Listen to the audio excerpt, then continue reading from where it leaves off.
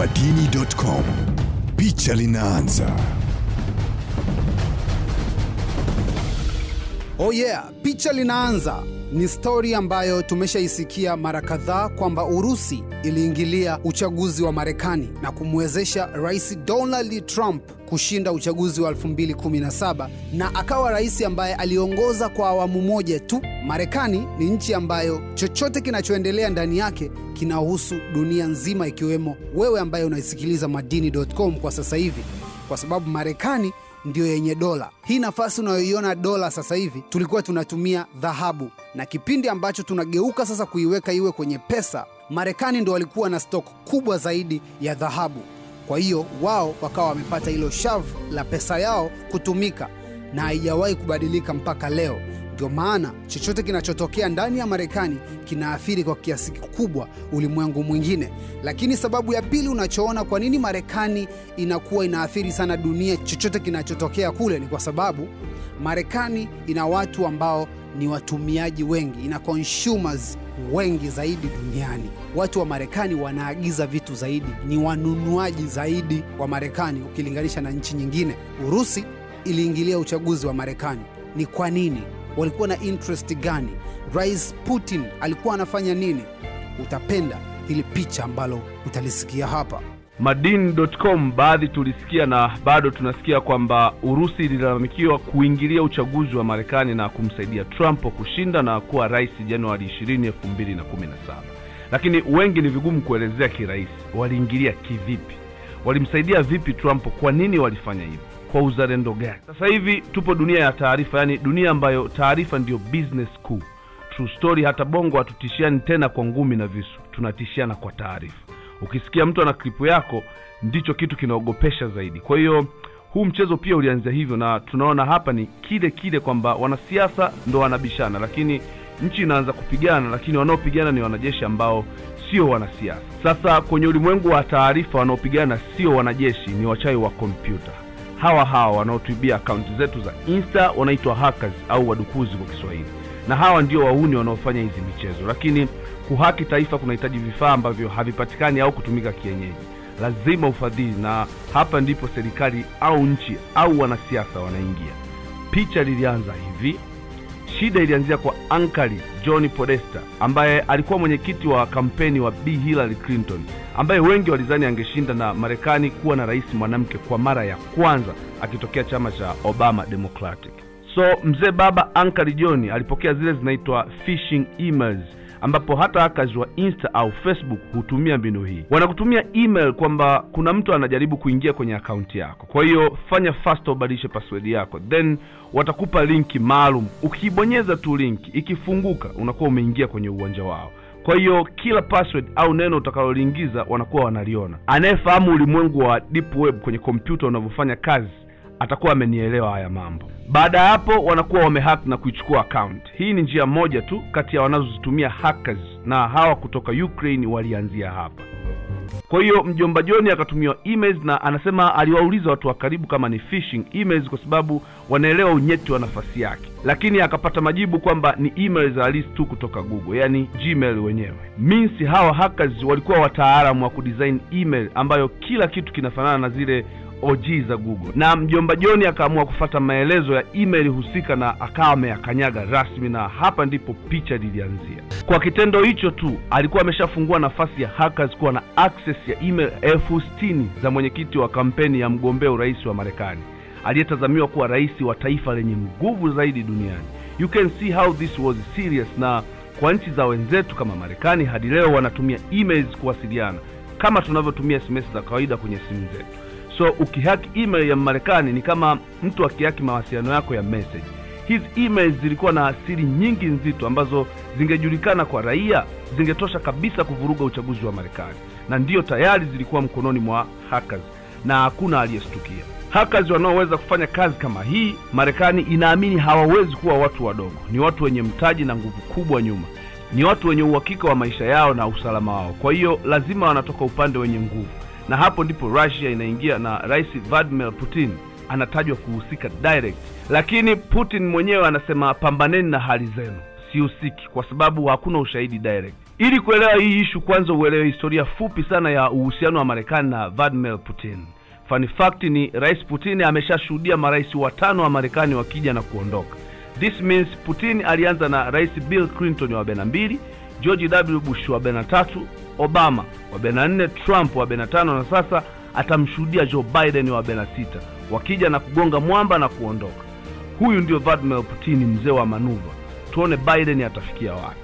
Historia yake kwa ufupi inaanzia 1999 hivi ambapo aliyekuwa rais wa urusi wakati huo boris yeltsin aliibuka kwenye tv akawaambia wananchi naomba kuwatangazia breaking news akaonekana rais boris kwa upole akisema wananchi wangu wapendwa naomba nisikitike kuwaambia naachia ngazi. Nimewapigisha faulo nyingi sana wanangu.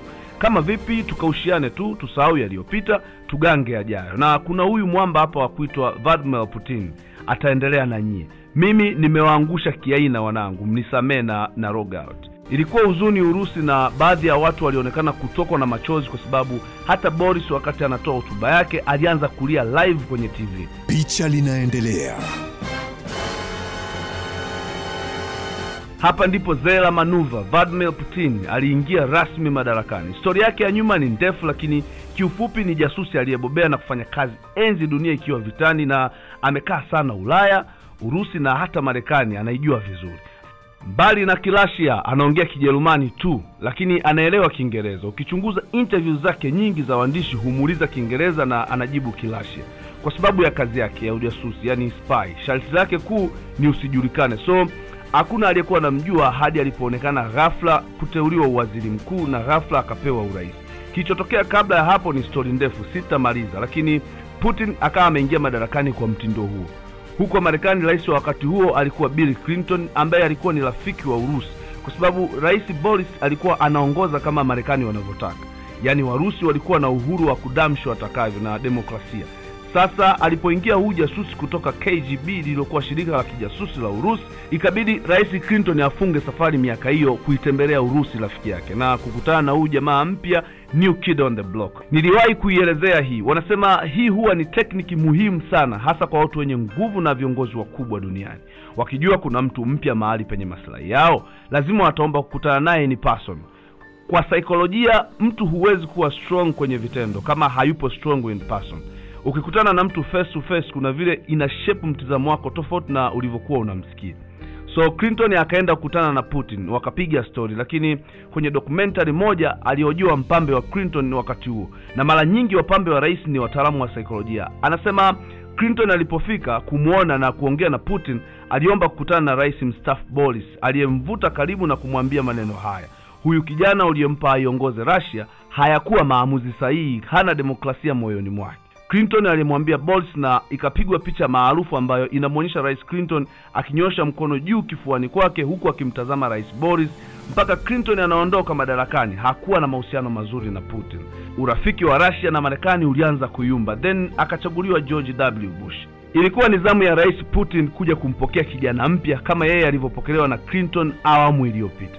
Naye mbinu ni ile ile kumjua mwenzake mpya katika fani. Ni mtu wa aina gani kumbuka putin ni afisa wa kgb na jasusi ambaye maisha yake yote aliyatumia kucheza na akili za watu. Iso hadi kucheza na akili zake. Ndiyo maana clinton alipomwona tu akajua hapa kushi na babuji putin akafanya ziara marekani na kukutana na rais bush. Ukienda youtube utaona. Na hapa ndipo tunaanza kurudi kwenye jinsi ile hacking ya mwanzo ilitokea na sababu za kutokea. Hapa najaribu kukupa historia ya hizi pande mbili unajua ukikutana na mtu in person ni rahisi zaidi hata kufanya maamuzi ya pamoja nje ya ushaji wenu. Mfano kuna tofauti ya unavyohudumiwa kwenye baa hoteli basi stendi benki na kadhalika endapo unafahamika kuliko ukiwa haufahamiki. So putin kisaikolojia wanasema stadi zake zilimjulisha udhaifu pekee wa rais bush ilikuwa imani yake ya ukristo. Kwa hiyo walipokutana akapiga stori moja hivi ya kizushi tu kuhusu mama yake na kanisa miaka hiyo kifupi haieleweki lakini ilimgusa bush kumoyo na akaona haka kajamaa kanatambua jesus sio kama afandesero wa morogoro. So waliporudi mbele ya waandishi wa habari ndugu yenu george w. Bush akaongea mbele ya dunia kwamba huyu bwana kwa jina la vladimir putin ni mtu mwema marekani inamwamini hana shida na mtu na tumpe ushirikiano kwenye kampeni yake ya nyumba nicho. Then putin akajua ameshamwingiza king huu kijana mpya kwenye fani. Baladi ilitokea septemba 11 2001 kwenye lile shambulizi la ugaidi lililompa kiki Osama bin Laden. Kipindi kile Urusi na Marekani walikuwa washaji kinoma noma, na Rais Putin alimpigia simu mshikaji wake katika imani Bwana George W. Bush kumpa pole kwa tukio lililomkuta na akamjuza kwamba yupo naye bega kwa bega kuhakikisha kwamba tunakomesha hawa wauni kina Osama na Al-Qaeda. Let me tell you, ukae ukijua huyu Putin tunayemzungumzia hapa hata dini yake haifahamiki vizuri. Kama nilivyokuambia, alitokea taaluma ya ujasusi na elfu mbili na kumi na nane tuliona stori yake ikitrendi kwamba amewaita wachawi Ikulu wafanye naye ibada. Kwa hiyo stori aliyompa Bushi sijui tuiteje, danganya toto au changa la macho.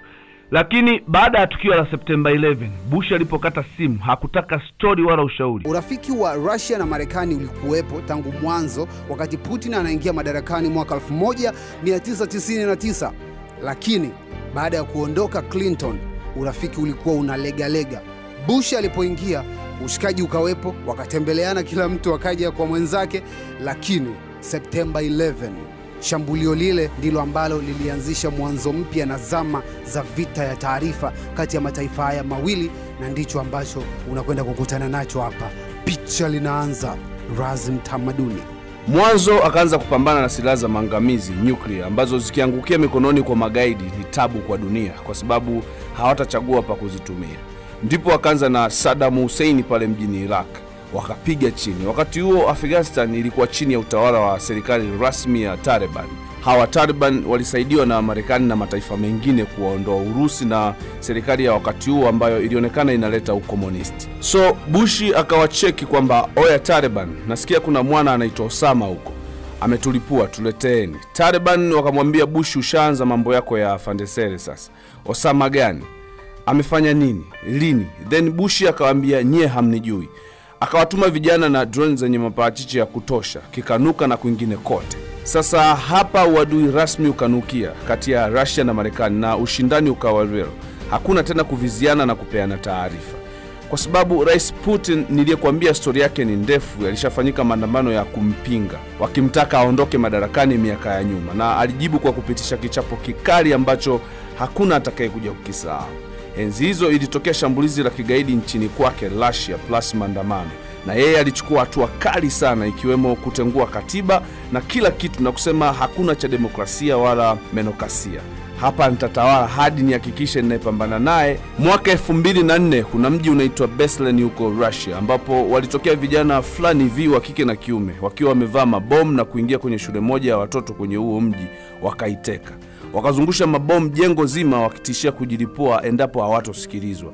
Hawa wazee walitokea Chechnia. Putin alikuwa amepeleka majeshi yake kama unavyoona Marekani inapeleka majeshi nchi fulani. Stori yake ni ndefu, lakini Putin alipeleka majeshi yakazunguka hiyo shule badala ya kutekeleza alivyoambiwa na watekaji. Siku tatu baadaye kubum, mamia ya watoto kindergarten na walimu wakaokotwa vipande vipande. So Putin alipoongea na Bush kwa simu tayari alikuwa afati demokrasia, lakini shambulio la Septemba 11 lilimpa nafasi ya kupiga simu kumwambia Bush. Sasa unaweza kunielewa kwa nini nilichukua maamuzi yale magumu. Tupo pamoja. But Bush akaakti kivyake, na sifa za watu ambao Bush alitangaza kupambana naye ni watawala wenye sifa za Putin, so ilikuwa wazi kimeuma. Mzee mmoja kutoka bunge la seneti la Urusi anasema Marekani wanahisi wanaweza kusambaza staili yao ya maisha wanayoita demokrasia kwa kulazimisha watu kuifata.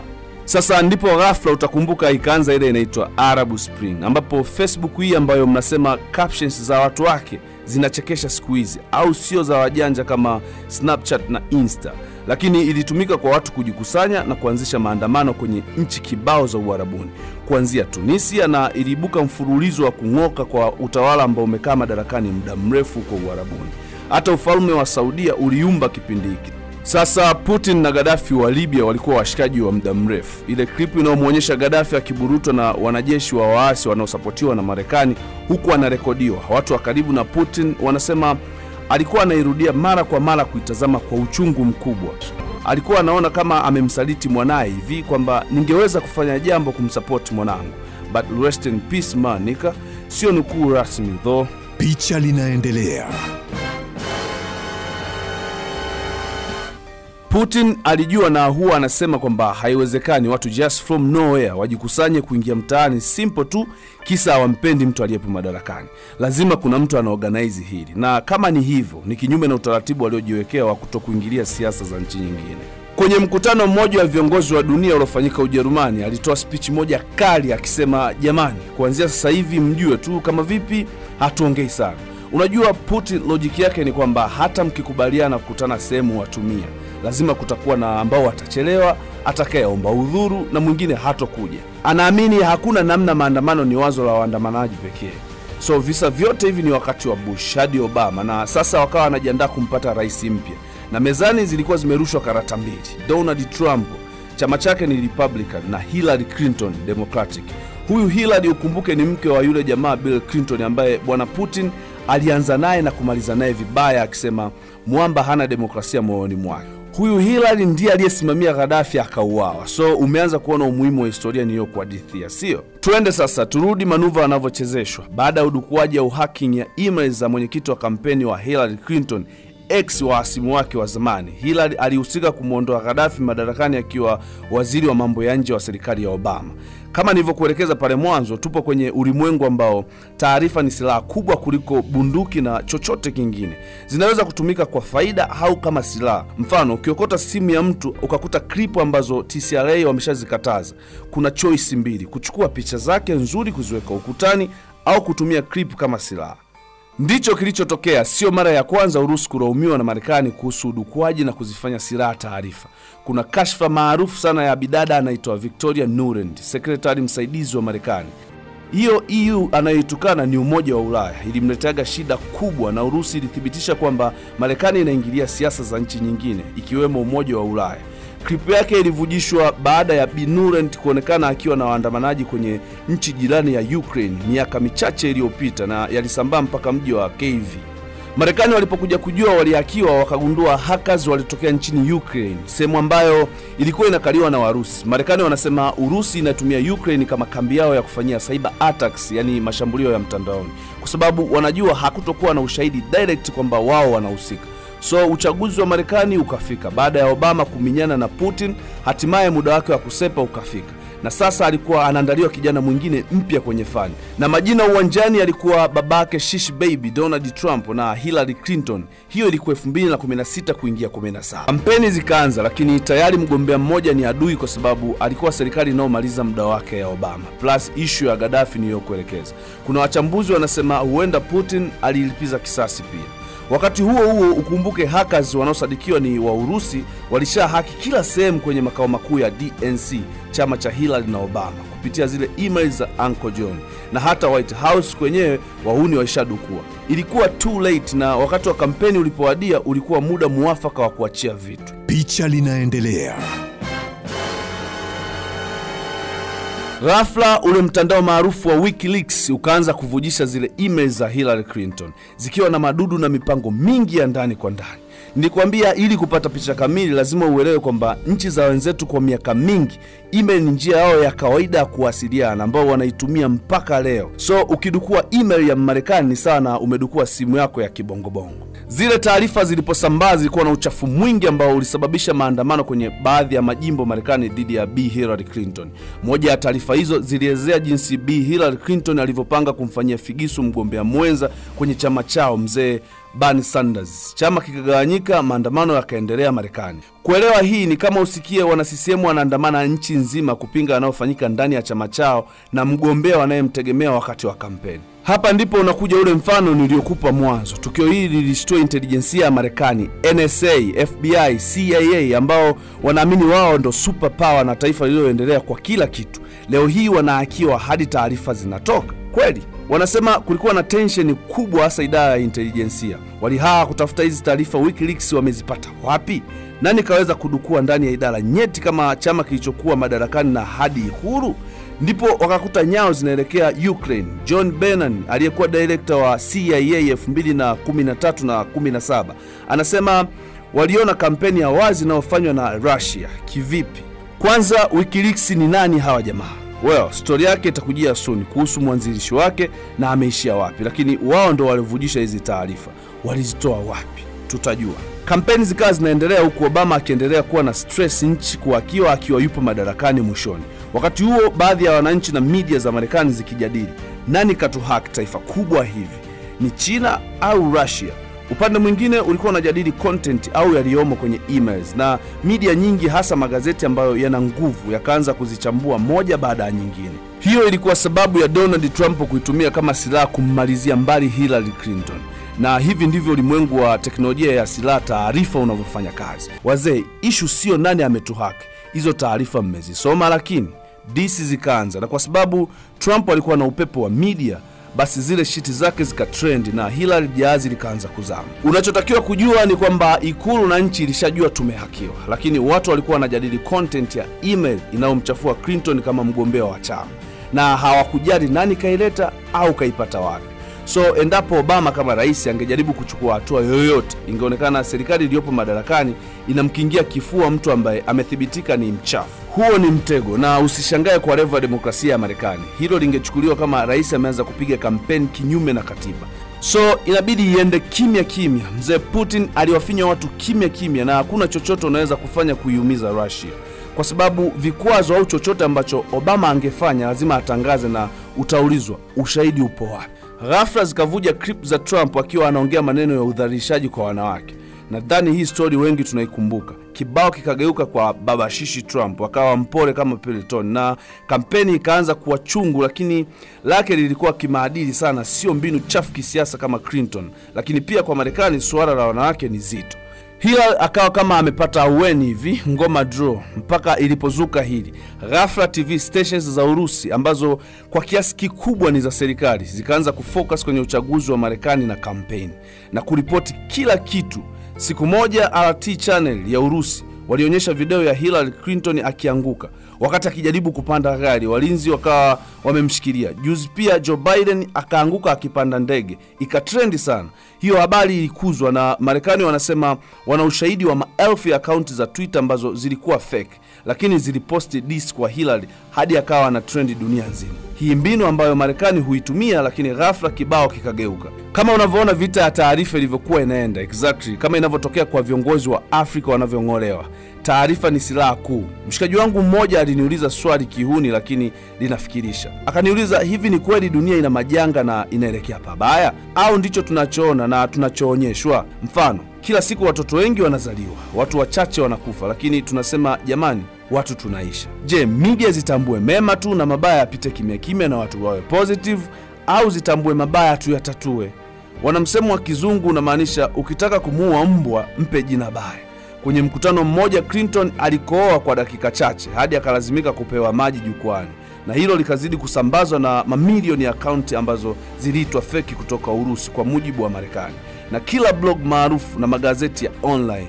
Trump naye akapanda majukwani kupigilia msumari wa moto, huku chama cha Clinton na Obama kikigawanyika kwa sababu ya hizo emails. Trump akifika jukwani, naye anaua kabisa, anamwiga Clinton alivyoanguka, so trendi ikaendelea hadi uchaguzi unafanyika Marekani. Serikali walikuwa hawana imani kwa sababu hawakujua hackers walikuwa wamezama kwenye system ya nchi kwa kiasi gani, lakini pia wai wamemchagua Trump na Trump ameingia madarakani akawa mashosti na Putin kinoma noma, mtu ambaye amekuwa mwiba wa kihistoria kwa taifa lake, na anawaona wanakuja wanaondoka. Obama alichofanya akampigia simu Putin na kumwambia acha ufara, tunajua unachokifanya. Putin akajibu, mzee baba, unaongea nini? Sikuelewi. Ujue mimi kweli? Wapi? Lini? Nani? Kama haitoshi, kukawa na mkutano wa mataifa yenye nguvu kiuchumi duniani G20. Waliokuwa naye wanasema Obama baada ya kupiga picha ya mwisho wa mkutano alimwita Putin chemba wa bonge kiume, akamwambia kwenye simu tuliongea, hukunielewa, lakini tunajua unachokifanya, stop. Lakini wanasema Putin alikuwa anabadilisha mada kama hajali chochote.